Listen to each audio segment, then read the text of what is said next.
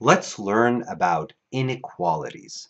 First of all, just as the name suggests, inequality means not equal.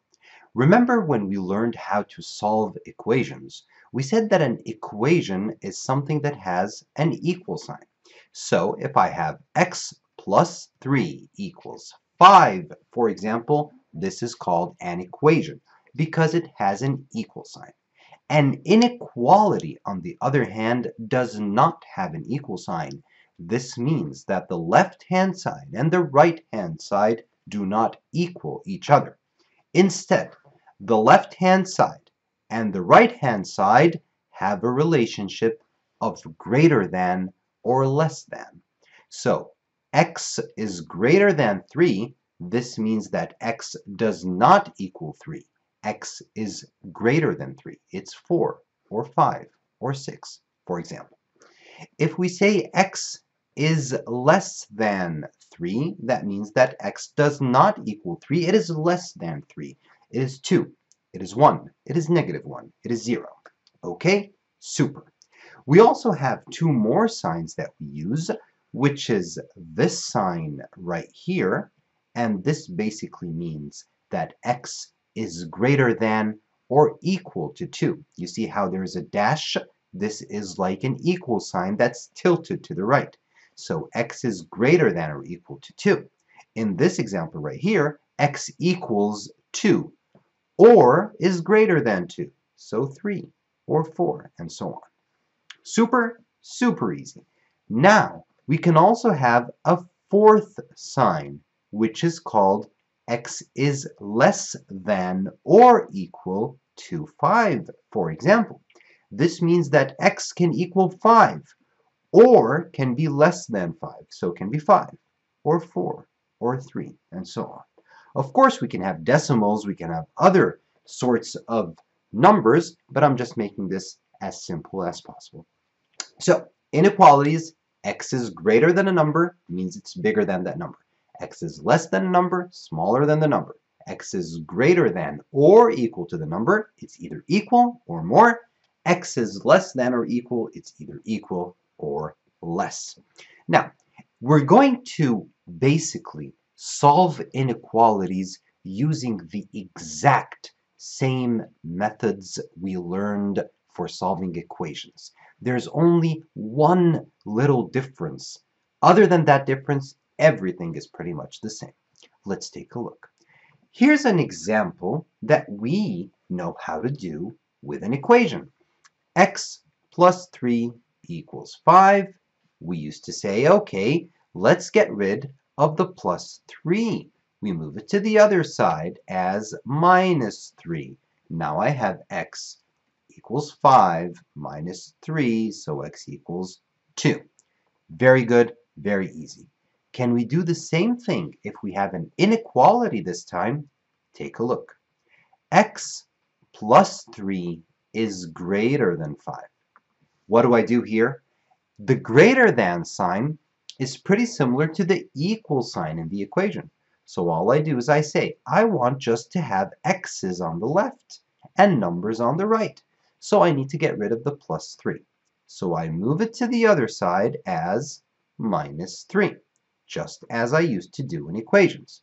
This leaves me with x is greater than 5 minus 3, which means x is greater than 2. So my final answer is x is greater than 2. Easy? Easy. Let's take another example. x minus 4 is less than 5. Okay, well, this looks pretty easy. How did we used to do something like this when it was an equation? Here, let's do it here on the side. x minus 4 equals 5. We used to say, let's get rid of the minus 4 because we just want x on the left. Goes to the other side as plus 4. That leaves us with x equals 5 plus 4, so x equals 9. Super. Now let's do pretty much the same thing with the inequality right here. I want to get rid of the negative 4 of the minus 4 right here because I just want x on the left. Move it to the other side. It goes as plus 4. That leaves me with x is less than 5 plus 4, which means x is less than 9. Easy. Okay, let's go further. Here we did 1 with a plus, here we did 1 with a minus. Let's do 1 with multiplication and 1 with division. Okay, go to the right of the page, please. When I had 3x equals 12, how did I used to do this when it was just an equation? Simple. 3x means 3 times x means x times 3, so it's multiplication. I want to get rid of the 3. What do I do? I move it to the other side. Instead of 3 times x, x times 3, it goes as divided by 3. So I have x equals 12 divided by 3, so x equals 4. Good. Now, let's take the same numbers that we have here, but this time, let's make it into an inequality. What if I have 3x is greater than 12? I do the same thing. I just want x on the left, so I need to get rid of the 3. Okay, 3x means 3 times x means x times 3, so it moves to the other side as divided by 3.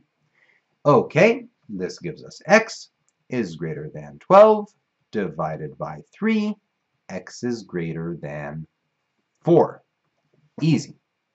Let's do one more now involving division. Do it on the right first with me, please. Let's go on the right. What if I had something like this? x over 4 equals 5. Remember, we want the x by itself. So we have to move the over 4. Over 4 means divided by 4. So it goes to the other side. The opposite of divided by 4 is times 4. So I have x equals 5 times 4, x equals 20. Let's do the same thing right here, but with an inequality this time. I have x over 4 is greater than or equal to 5. Okay? Same thing, inequality. You can use greater than, less than, greater than or equal, less than or equal. Same thing applies. Okay, now I want to get rid of the over 4 because I just want x by itself. Over 4 means divided by 4, goes to the other side. Opposite of division is multiplication, so it goes as times 4. That leaves me with x is greater than or equal to 5 times 4, which means that x is greater than or equal to 20. Simple, easy, very easy.